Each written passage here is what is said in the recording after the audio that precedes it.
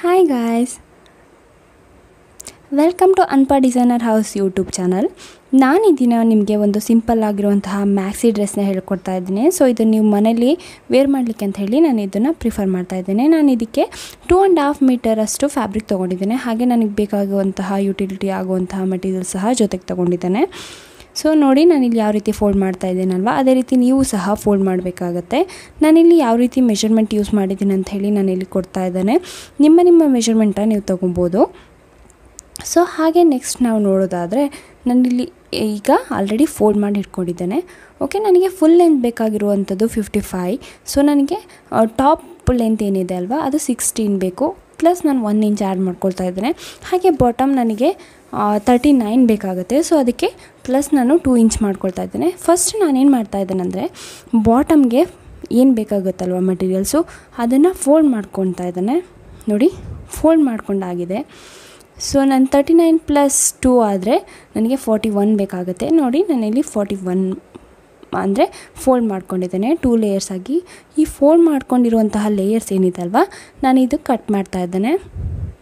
ನೋಡ್ರಲ್ವಾ ಈ ರೀತಿಯಾಗಿ ಕಟ್ ಮಾಡಿದ್ದೇನೆ. ಸೊ ಅದೇ ರೀತಿ ಅನದರ್ ಸೈಡ್ ಸಹ, ಅಂದರೆ ಫೋಲ್ಡಿಂಗ್ ಸೈಡ್ ಸಹ ಕಟ್ ಮಾಡ್ಕೊಳ್ತಾ ಇದ್ದಾನೆ.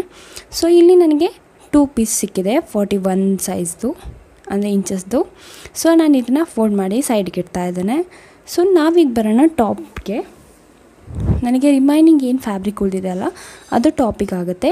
ಸೊ ನಾನಿಲ್ಲಿ ಶೋಲ್ಡರ್ ಫುಲ್ ಲೆಂತ್ ಸಿಕ್ಸ್ಟೀನ್ ಹೇಳಿದ್ದೀನಿ ಪ್ಲಸ್ ನಾನು ಒನ್ ಮಾಡ್ಕೊಂಡಿದ್ದೇನೆ. ಹಾಗೆ ಆರ್ಮ್ ಡೆಪ್ ನಾನಿಲ್ಲಿ ಸೆವೆನ್ ತೊಗೊಂಡಿದ್ದೇನೆ. ಹಾಗೆ ನಾನಿಲ್ಲಿ ಫುಲ್ ಲೆಂತ್ ನಾನು ಹೇಳಿದ್ನಲ್ವ sixteen plus one seventeen so ಸೆವೆಂಟೀನ್ಗೆ ನಾನಿಲ್ಲಿ ಮಾರ್ಕ್ ಮಾಡ್ಕೊಳ್ತಾ ಇದ್ದೇನೆ.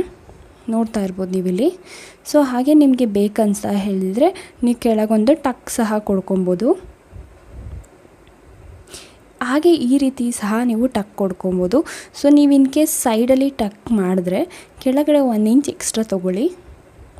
ಹಾಗೆ ನಾ ಫ್ರೆಂಚ್ ಕರ್ವ್ ಹೆಲ್ಪಿಂದ ನಾನು ಆರ್ಮೋಲ್ ಸಹ ಶೇಪ್ ತೊಗೊಳ್ತಾ ಇದ್ದೇನೆ. ಹಾಗೆ ನೆಕ್ಕನ್ನು ಸಹ ಮಾರ್ಕ್ ಮಾಡ್ಕೊಳ್ತಾ ಇದ್ದೇನೆ. ನಾನು ಇಲ್ಲಿ ತ್ರೀ ಇಂಚಸ್ ವಿಡ್ತ್ ಹಾಗೆ ಸಿಕ್ಸ್ ಇಂಚಸ್ ಡೆಪ್ತ್ ತೊಗೊಂಡಿದ್ದೇನೆ. ಬ್ಯಾಕಿಗೆ ಟೂ ಇಂಚಸ್ ಡೆಪ್ತ್ ಹಾಗೆ ಫ್ರಂಟ್ಗೆ ಸಿಕ್ಸ್ ಇಂಚಸ್ ಡೆಪ್ತ್ ತೊಗೊಂಡಿದ್ದೇನೆ. ನೋಡಿ, ನಾನು ಇಲ್ಲಿ ಯಾವ ರೀತಿ ಮಾರ್ಕ್ ಮಾಡಿದ್ದೀನಲ್ವ? ಸೊ ಅದೇ ಮಾರ್ಕ್ನ ಫಾಲೋಅಪ್ ಮಾಡಿ ಕಟ್ ಮಾಡ್ತಾ ಇದ್ದೇನೆ.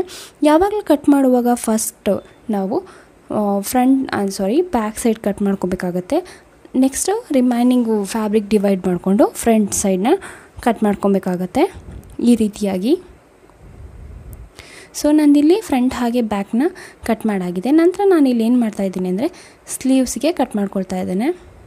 ಸೊ ನೋಡಿ ನನ್ನ ಸ್ಲೀವ್ಗೆ ಇದು ಸ್ವಲ್ಪ ಪಫ್ ಸ್ಲೀವ್ ಇಡ್ತಾ ಇರೋದ್ರಿಂದ ತ್ರೀ ಇಂಚಸ್ ಪಫಿಗೆ ಅಂತ ಹೇಳಿ ತೊಗೊಂಡಿದ್ದೇನೆ.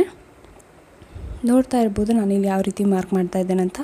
ಮಿಡ್ ಪಾಯಿಂಟ್ ತೊಗೊಂಡು ಸೊ ಶೇಪ್ನ ತೊಗೊಳ್ತಾ ಇದ್ದೇನೆ. ನಾನಿಲ್ಲಿ ಸ್ಟ್ರೇಟ್ ಏನಕ್ಕೆ ಬಂದಿದ್ದೀನಿ, ಅಂದರೆ ಫಸ್ಟಿಂದ ಅಂತ ಹೇಳಿದ್ರೆ, ನಾನು ಪಫ್ ಕೊಡ್ತಿರೋದ್ರಿಂದ ಸ್ಟ್ರೇಟಾಗಿ ಬಂದಿದ್ದೀನಿ.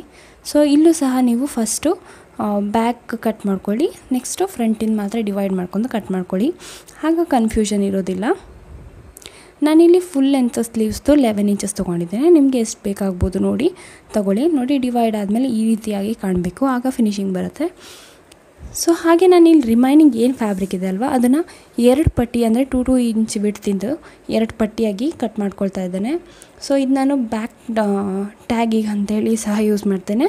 ಹಾಗೆ ಸ್ಲೀವ್ಸಿಗೆ ಸ್ಲೀವ್ ಎಡ್ಜಿಗೆ ನಾನು ಇದನ್ನ ಯೂಸ್ ಮಾಡಲಿದ್ದೇನೆ. ನೋಡಿ ಇಷ್ಟೇ ವೇಸ್ಟ್ ಆಗಿರೋದು. ಅಂದರೆ ನಾವು ಇದನ್ನು ಈ ಡ್ರೆಸ್ನ ಝೀರೋ ವೇಸ್ಟಲ್ಲಿ ಮಾಡ್ತಾ ಇದ್ದೇವೆ. ಸೊ ನಾನು ನಾನಿಲ್ಲಿ ನೆಕ್ಕಿಗೆ ಬಯಾಸ್ ಪೀಸ್ನ ಯೂಸ್ ಮಾಡ್ತಾ ಇದ್ದೇನೆ. ಬಯಾಸ್ ಪೀಸು ನಮಗೆ ಎಕ್ಸ್ಪ್ಯಾಂಡಬಲ್ ಇರುತ್ತೆ. ಸೊ ಈ ಬಯಾಸ್ ಪೀಸ್ ಯೂಸ್ ಮಾಡೋದ್ರಿಂದ ಗ್ಯಾದರ್ಸ್ ಆಗೋದಿಲ್ಲ.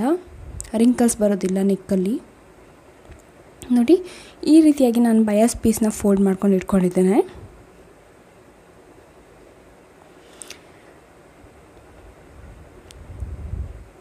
ಸೊ ಈ ರೀತಿಯಾಗಿ ಇಟ್ಕೊಂಡು ನಾನು ಸ್ಟಿಚ್ ಮಾಡ್ತಾ ಇದ್ದೇನೆ ನೋಡಿ. ಮಿಡಲಲ್ಲಿ ಒಂದೊಂದು ನಾಚಸ್ ಹಾಕ್ಕೊಂಡಿದ್ದೇನೆ.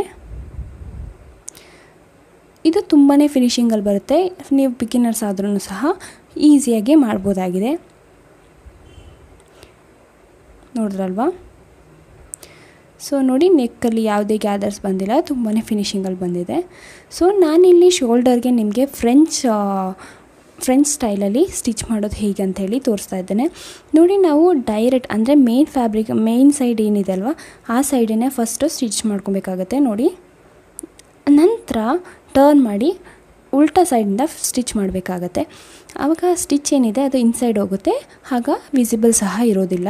ಎರಡು ಕಡೆಯಿಂದನೂ ಫಿನಿಶಿಂಗ್ ಟೈಪಲ್ಲೇ ಕಾಣಿಸುತ್ತೆ. ನೋಡಿ, ಈ ರೀತಿಯಾಗಿ. ಇದನ್ನು ನಾವು ಫ್ರೆಂಚ್ ಸ್ಟಿಚಿಂಗ್ ಅಂತ ಹೇಳಿ ಹೇಳ್ತೇವೆ. ನಾನೀಗ ಆಲ್ರೆಡಿ ಒಂದು ವಿಡಿಯೋದಲ್ಲಿ ನಿಮಗೆ ತಿಳಿಸಿದ್ದೇನೆ ಇದನ್ನ ಸೊ ನಾನು ಹೇಳಿದ್ನಲ್ವ ಪಫ್ ಸ್ಲೀವ್ ಆಗಿರೋದ್ರಿಂದ ನಾನು ತ್ರೀ ತ್ರೀ ಇಂಚಸ್ಸಿಗೆ ಮಾರ್ಕ್ ಮಾಡ್ಕೊಳ್ತಾ ಇದ್ದೇನೆ. ಈ ರೀತಿಯಾಗಿ ನಾನು ಮಾರ್ಕ್ ಮಾಡ್ಕೊಳ್ತಾ ಇದ್ದೇನೆ. ನೋಡಿ, ಈ ರೀತಿಯಾಗಿ ನೀವು ಬೇಕಂತ ಅಂದರೆ ಪ್ಲೇಟ್ ಸಹ ಮಾಡ್ಕೊಬೋದು. ನಾನಿಲ್ಲಿ ಜಸ್ಟ್ ನಿಮಗೆ ತೋರಿಸ್ತಾ ಇದ್ದೇನೆ. ಪ್ಲೇಟ್ ಸಹ ಮಾಡ್ಕೊಬೋದು ಅಂಥೇಳಿ ಬಟ್ ನಾನಿಲ್ಲಿ ಪ್ಲೇಟ್ಸ್ ಯೂಸ್ ಮಾಡ್ತಾ ಇಲ್ಲ. ನಾನು ಮಷಿನ್ ಗ್ಯಾದರ್ಸ್ನ ಯೂಸ್ ಮಾಡ್ತಾ ಇದ್ದೀನಿ. ನಾನು ಮಷಿನ್ ಗ್ಯಾದರ್ಸ್ ಬಗ್ಗೆ ಆಲ್ರೆಡಿ ನಿಮಗೆ ಈ ವಿಡಿಯೋದಲ್ಲಿ ತಿಳಿಸಿದ್ದೇನೆ. ನೀವು ತಿಳ್ಕೊಂಡಿಲ್ಲ, ನೀವು ಆ ವಿಡಿಯೋ ನೋಡಿಲ್ಲ ಅಂದರೆ ಒಂದು ಸರಿ ಚೆಕ್ಔಟ್ ಮಾಡಿ ನಿಮಗೆ ಗೊತ್ತಾಗತ್ತೆ. ಸೊ ನೋಡಿದ್ರಲ್ವ? ಆ, ನಾನು ಸ್ಟಿಚ್ ಮಾಡಿರುವಂತಹ ಸ್ಲೀವ್ಸ್ ಏನಿದೆ ಅಲ್ವಾ, ಅದನ್ನು ನಾನು ಮೇನ್ ಫ್ಯಾಬ್ರಿಕಿಗೆ ಅಟ್ಯಾಚ್ ಮಾಡಿ ಸ್ಟಿಚ್ ಮಾಡ್ಕೊಳ್ತಾ ಇದ್ದೇನೆ. ನೋಡ್ತಿರ್ಬೋದು ಯಾವ ರೀತಿ ಪಫ್ ಕಾಣ್ತಾ ಇದೆ ಅಂಥೇಳಿ ನಾನು ಇದು ಮನೇಲಿ ಉಡೋದಕ್ಕಂತ ಹೇಳಿ ಮಾಡ್ತಿರೋದ್ರಿಂದ ತುಂಬ ಪಫ್ ಏನು ಕೊಟ್ಟಿಲ್ಲ. ಸೊ ಅದೇ ರೀತಿ ನಾನು ಅಪ್ ಸೈಡಲ್ಲಿ ಹೇಗೆ ಪಫ್ ಮಾಡಿದ್ನಲ್ವ ಅದೇ ರೀತಿ ಡೌನ್ ಸೈಡಲ್ಲಿ ಸಹ ಪಫ್ ಮಾಡಿದ್ದೀನಿ. ಹಾಗೆಯೇ ನಾನು ಟೂ ಪೀಸ್ ಕಟ್ ಮಾಡ್ಕೊಂಡು ಇಟ್ಕೊಂಡಿದ್ದೆ. ಅದೇ ಪಟ್ಟಿನ ಇಲ್ಲಿ ಯೂಸ್ ಮಾಡಿ ಸ್ಲೀವ್ಸಿಗೆ ಅಂದರೆ ಒಂದು ಸಣ್ಣದಾಗಿ ಪಟ್ಟಿ ಕೊಡ್ತಾ ಇದ್ದಾನೆ. ನೋಡಿ, ನಾನು ಇದು ಡಬಲ್ ಫೋಲ್ಡ್ ಮಾಡಿ ಯಾವ ರೀತಿ ಸ್ಟಿಚ್ ಮಾಡ್ತಾ ಇದ್ದೇನೆ ಅಂತ ಹೇಳಿ.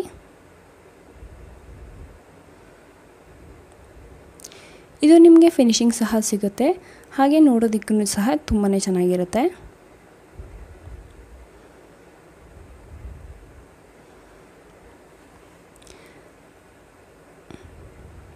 ಯಾವಾಗಲೂ ನೈಟಿ ವೇರ್ ಮಾಡಿ ಬೋರ್ ಆದಾಗ ನೀವು ಈ ರೀತಿಯಾಗಿ ಒಂದು ಡ್ರೆಸ್ ಸ್ಟಿಚ್ ಮಾಡಿಕೊಂಡು ಇದನ್ನು ಮನೇಲಿ ವೇರ್ ಮಾಡ್ಬೋದು. ಬೋರು ಅನಿಸೋದಿಲ್ಲ ಹಾಗೆಯೇ ಸಿಮ್ ನೈಟಿ ಥರ ಸಿಂಪಲ್ ಥರ ಅಂತಲೂ ಅನಿಸೋದಿಲ್ಲ. ಚೆನ್ನಾಗೂ ಕಾಣುತ್ತೆ.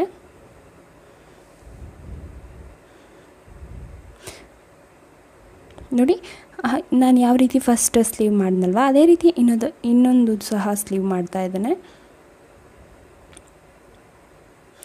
ಸೊ ಇದನ್ನು ಸಹ ನಾನಿಲ್ಲಿ ಡಬಲ್ ಫೋಲ್ಡ್ ಮಾಡ್ಕೊಂಡು ಸ್ಟಿಚ್ ಮಾಡ್ತಾ ಇದ್ದೇನೆ. ಸೊ ಅದರಿಂದ ನಿಮಗೆ ಕನ್ಫ್ಯೂಷನ್ ಇರೋದಿಲ್ಲ. ನಾನು ಯಾವ ರೀತಿ ಮಾರ್ಕಿಂಗ್ ತೋರಿಸಿದ್ದೇನಲ್ವ ಅದೇ ರೀತಿ ಅದೇ ರೀತಿ ನೀವು ಸಹ ಮಾಡ್ಕೊಬೇಕಾಗತ್ತೆ. ಅಂದರೆ ಝೀರೋ ವೇಸ್ಟಲ್ಲಿ ನೀವು ಇದನ್ನು ಮಾಡ್ಬೋದು. ಡ್ರೆಸ್ನ ಓಕೆ ನಂದು ಇಲ್ಲಿ ಸ್ಲೀವ್ ಕಂಪ್ಲೀಟ್ ಆಗಿದೆ. ನಾನು ಫಸ್ಟಿಗೆ ಬಾಟಮ್ಗೆ ಅಂತ ಹೇಳಿ ಏನು ಕಟ್ ಮಾಡಿ ಇಟ್ಕೊಂಡಿದ್ದೆ ಅಲ್ವಾ? ಸೊ, ಅದನ್ನು ನಾನಿಲ್ಲಿ ಡಬಲ್ ಫೋಲ್ಡ್ ಮಾಡಿ ಸ್ಟಿಚ್ ಮಾಡಿ ಇಟ್ಕೊಳ್ತಾ ಇದ್ದೇನೆ. ನೋಡಿ ಯಾವ ರೀತಿಯಾಗಿ, ಅಂದರೆ ಒನ್ ಒನ್ ಇಂಚಸ್ಸಿಗೆ, ಟೂ ಇಂಚಸ್ಸಿಗೆ ನಾನು ಡಬಲ್ ಫೋಲ್ಡ್ ಮಾಡಿದ್ದೇನೆ. ಸೊ, ಇದು ಸ್ವಲ್ಪ ತಿಕ್ನೆಸ್ ಬಂದರೆ ಯಾವಾಗಲೂ, ಅಂದರೆ ತುಂಬ ಬೇಗ ಅಪ್ ಸೈಡ್ ಹೋಗೋದಿಲ್ಲ ಫ್ಯಾಬ್ರಿಕ್ಕು.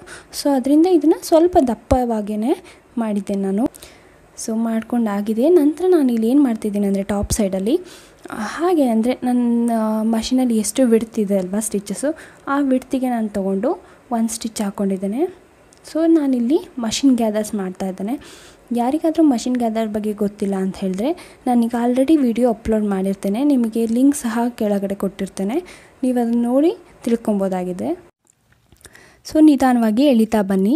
ಗ್ಯಾದರ್ಸ್ ಕ್ರಿಯೇಟ್ ಆಗುತ್ತೆ. ನೆಕ್ಸ್ಟ್ ನಾನು ಇಲ್ಲಿ ತೋರಿಸ್ತಿರುವಂಥದ್ದು ಟಕ್ ರೆಡಿ ಮಾಡ್ಕೊಳ್ತಾ ಇದ್ದೇನೆ ನಾನು. ನೋಡಿ ಯಾವ ರೀತಿ ಟಕ್ ರೆಡಿ ಮಾಡ್ಕೊಳ್ತಿದ್ದೇನೆ ಅಂಥೇಳಿ. ನಾನು ಒನ್ ಇಂಚಸ್ಟಷ್ಟು ಟಕ್ ರೆಡಿ ಮಾಡ್ಕೊಳ್ತಾ ಇದ್ದೇನೆ. ಅಂದರೆ ಮಿಡ್ ಪಾಯಿಂಟಿಂದ ಫೋರ್ ಫೋರ್ ಇಂಚಸ್ಸಿಗೆ ಬಿಟ್ಟು ತೊಗೊಂಡು ಅಲ್ಲಿಂದ ಮಾರ್ಕ್ ಮಾಡಿಕೊಂಡು ನೋಡಿದ್ರಲ್ವಾ? ಸೊ ಇದರ ನೆಕ್ಸ್ಟು ನಾವು ಇಂಪಾರ್ಟೆಂಟ್ಲಿ ಮಾಡಬೇಕಾಗಿರೋದು ಏನಂತ ಹೇಳಿದ್ರೆ ವೆಸ್ಟ್ ಲೈನ್ನ ಕ್ರಿಯೇಟ್ ಮಾಡಬೇಕು. ಅಂದರೆ ಫ್ರಂಟ್ ಸಾರಿ ಟಾಪ್ ಹಾಗೆ ಬಾಟಮ್ ಸೈಡ್ ಏನಿದೆ ಅಲ್ವಾ, ಎರಡನ್ನೂ ಜಾಯಿನ್ ಮಾಡಿ ಸ್ಟಿಚ್ ಮಾಡಬೇಕಾಗುತ್ತೆ. ಸೊ ಅದರಿಂದ ನಮ್ಮ ವೆಸ್ಟ್ ಲೈನ್ ಏನಿದೆ, ಅದು ಕ್ರಿಯೇಟ್ ಆಗುತ್ತೆ. ಹಾಗೆ ನಾವು ಗ್ಯಾದರ್ಸ್, ಅಂದರೆ ಮಷಿನ್ ಗ್ಯಾದರ್ ನೋಡಿ, ಅದೇ ರೀತಿ ನೀವು ಸಹ ಮಾಡಿದರೆ ನಿಮ್ಮ ಗ್ಯಾದರ್ಸು ತುಂಬ ಫಿನಿಷಿಂಗಲ್ಲಿ ಸಿ ಬರುತ್ತೆ. ಸೊ ನಾನೀಗ ಸೈಡ್ ಸೀಮ್ಸ್ನ ಸ್ಟಿಚ್ ಮಾಡ್ತಾ ಇದ್ದೇನೆ. ಸೊ ನೀವಿಲ್ಲಿ ನೋಡ್ತಾ ಇರ್ಬೋದು, ನಾನು ಯಾವ ರೀತಿಯಾಗಿ ಸೈಡ್ ಸೀಮ್ಸ್ನ ಸ್ಟಿಚ್ ಮಾಡ್ತಾ ಇದ್ದೇನೆ. ಆಲ್ರೆಡಿ ನಾನು ಸ್ಲೀವ್ಸ್ ಅಟ್ಯಾಚ್ ಮಾಡಾಗಿದೆ. ಹಾಗೆ ಟಾಪ್ ಏನಿದೆ ಅಲ್ವಾ, ಅದನ್ನು ಅಟ್ಯಾಚ್ ಮಾಡಾಗಿದೆ. ಸೊ ನಾವು ಬಾಟಮ್ಸ್ ಬಾಟಮ್ ಸಹ ಗ್ಯಾದರ್ಸ್ ಜೊತೆ ಅಟ್ಯಾಚ್ ಮಾಡ್ಕೊಂಡಿದ್ದೀವಿ. ಸೊ ಈಗ ಸೈಡ್ ಸೀಮ್ಸ್ ಅಂದರೆ ಬೋತ್ ಸೈಡ್ ಏನು ಸೈಡ್ ಸೀಮ್ಸ್ ಇದೆ ಅಲ್ವಾ? ಆ ಎರಡು ಸೈಡ್ ಸೀಮ್ಸ್ನ ಕಂಪ್ಲೀಟ್ ಮಾಡಿದಾಗ ನಮಗೆ ಕಂಪ್ಲೀಟ್ ಫಿನಿಶಿಂಗ್ ಡ್ರೆಸ್ ಸಿಗುತ್ತೆ. ಸೊ ನೀವಿಲ್ಲಿ ನೋಡ್ತಾ ಇರ್ಬೋದು ನಾನು ಯಾವ ರೀತಿ ಸೈಡ್ ಸೀಮ್ಸ್ನ ನೀಟಾಗಿ ಬ್ಯಾಕ್ ಹಾಗೆ ಫ್ರಂಟ್ ನೆಕ್ಸ್ಟ್ ನಾನಿಲ್ಲಿ ಈ ಡ್ರೆಸ್ ವೇರ್ ಮಾಡಿದಾಗ ಯಾವ ರೀತಿ ಕಾಣುತ್ತೆ ಅಂತ ಹೇಳಿ ತೋರಿಸ್ತಾ ಇದ್ದೆ ನಾನು ನಿಮಗೆ. ನಿಮಗೆ ಈ ವಿಡಿಯೋ ಇಷ್ಟ ಆದಲ್ಲಿ ಲೈಕ್ ಮಾಡಿ ಶೇರ್ ಮಾಡಿ, ಹಾಗೆ ಕಾಮೆಂಟ್ ಸಬ್ಸ್ಕ್ರೈಬ್ ಮಾಡಿ. Thanks for watching